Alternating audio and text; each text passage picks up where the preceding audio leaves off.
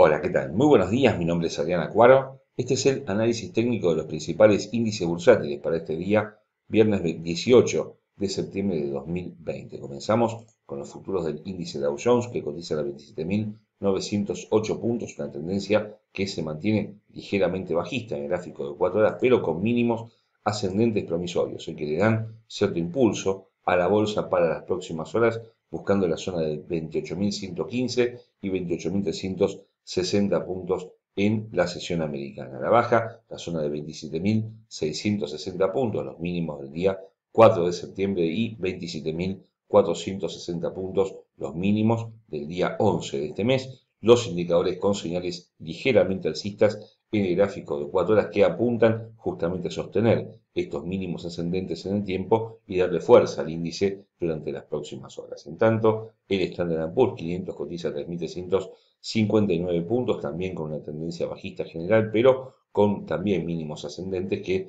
le dan soporte a un cierto alza del precio, con objetivos ahora en 3.372, 3.393 y 3.421 puntos, zona de máximos importantes ¿eh? de la semana anterior y de esta semana. La baja, 3.342, 3.317 y 3.294 puntos, la zona de los mínimos del día 9 de septiembre, con indicadores que apuntan al alza, pero por debajo de sus líneas medias de cuesta. Todavía al índice volver a tomar brillo y superar esta zona de 3.420 unidades. Finalmente, el Nasdaq 100 cotiza a 11.149 puntos, una tendencia que también se mantiene bajista en el gráfico de 4 horas con soportes en las zonas de 11.035, 10.915 puntos, la zona de los mínimos del día 9 de septiembre y 10.775 puntos. Al alza, 11.255, 11.385 y 11.555 puntos con un FIBO que nos marca que un probable alza de precio